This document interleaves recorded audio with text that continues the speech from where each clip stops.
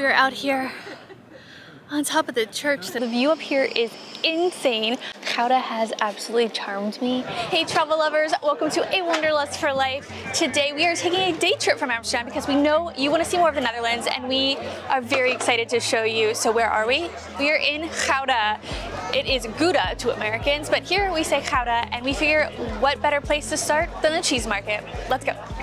This cheese market is really a historical show. They don't actually sell cheese this way anymore, but they do so by like slapping the hands of each other after they weigh the cheese. 738. 738. 733. Nee, 738. 738. And this is really like the core of Gouda because that is why the cheese is named as it is because this is where it was originally sold. So it's super cool. Just know that this is for tourists. Take your photos, take your videos. You can even take pictures with some of the guys here. I don't know, it's a lot of fun, but don't expect it to be like what they do today. One of the unique things about this market that I really love is you can kind of walk through the pallets and everything, and the people are so nice. They're setting up with pictures, they answer your questions. This is just a really cool, very tourist-friendly experience while you're still learning about history.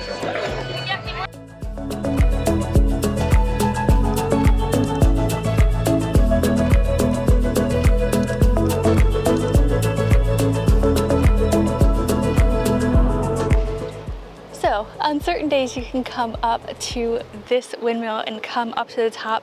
And what's really crazy is we have bought flour from this windmill and there's a shop right next door that you pay to come up here but you can buy the flour there and I highly recommend it. But this is just really cool. The view up here is insane but please note that they are like ladder stairs. So you have to be comfortable going up a ladder to be able to come up here but it's super cool and you can just walk around and explore.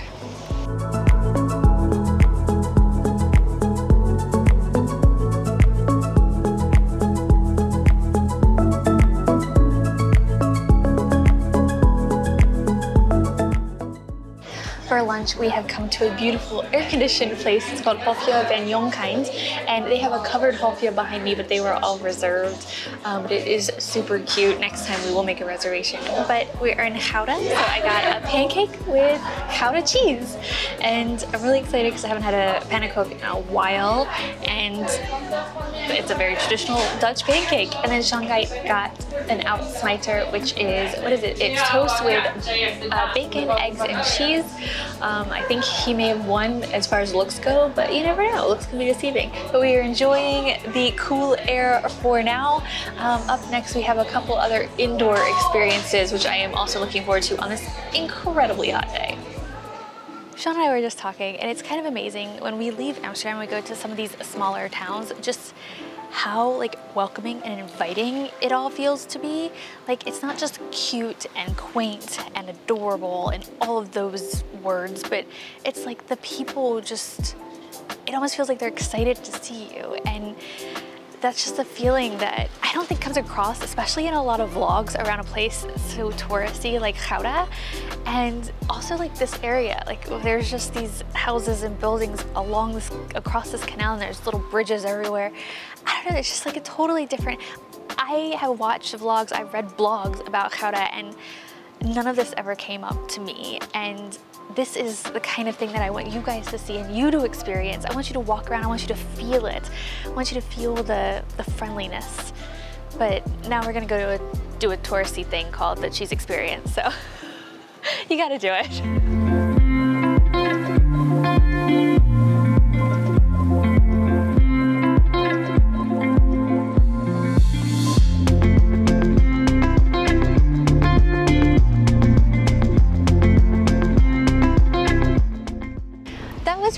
Interesting. Um, the animations were really cute. You definitely can learn a lot here. I would combine maybe a trip uh, from Gouda to Woerden, and we have done a video on that as well. I'll leave that linked above and below for you. But you know, this is there's a lot of tourists here. It's very very busy. Whereas Woerden is actually in like a cheese warehouse, and you get to talk to people, which I really really enjoyed. But there's more to see here in Gouda, so let's go.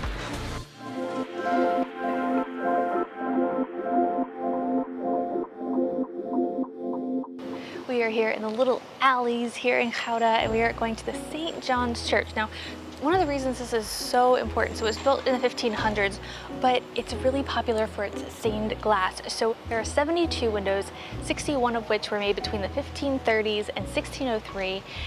And it just is crazy that over half of the 16th century stained glass in the Netherlands is in this building. It's also, I think, the longest church in the Netherlands, which is crazy. And even more excitingly, they have an exhibition where you can go on the roof until October. Uh, so I think that'll be pretty amazing with some awesome views. Ready to check it out? Let's go.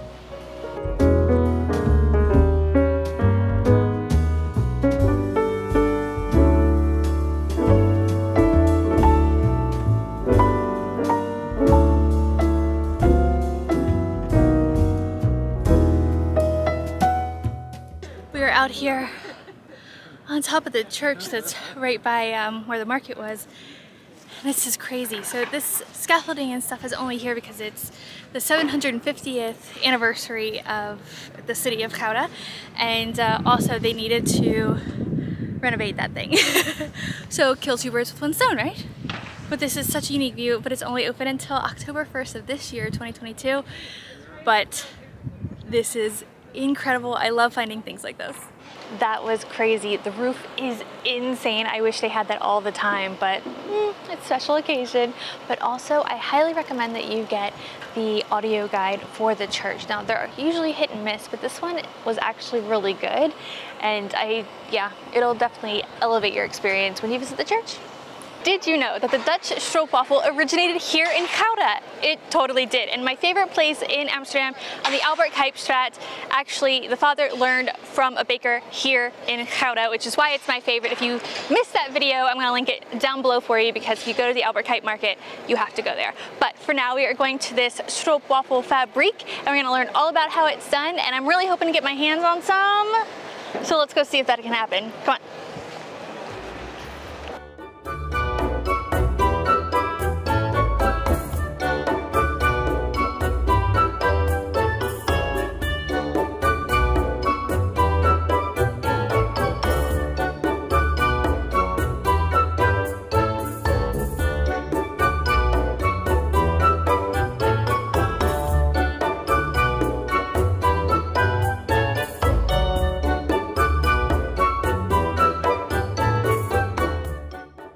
Saying it wrong all along. So here at Kamphuisen, they make siroopwafels, not stroopwafels as I know it to be.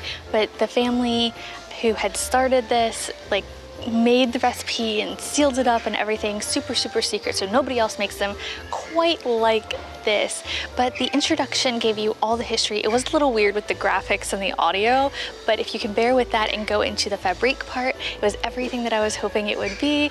We got to taste five different syrups and I got to guess what they were. That was kind of a lot of fun. And then you got to see the entire process. I don't know. It was super cool totally worth a visit when you're here. And Gouda has absolutely charmed me I did not realize exactly how amazing it would be. Now, it is a great day trip from Amsterdam, but we've actually been talking and we'd love to come back for a weekend. There's just so many nooks and crannies, amazing shops and cafes that we want to try, but this is just I mean, this has absolutely blown me away, and other people have thought so too. So it's on New York Times' list with 52 places for a changed world, and Bloomberg pursuits where to go in 2022. So this isn't just about me, other people feel the same way. So I hope you come and enjoy it. And if you do, you have to let me know down in the comments. But this is a great day trip to Gouda or Gouda from Amsterdam.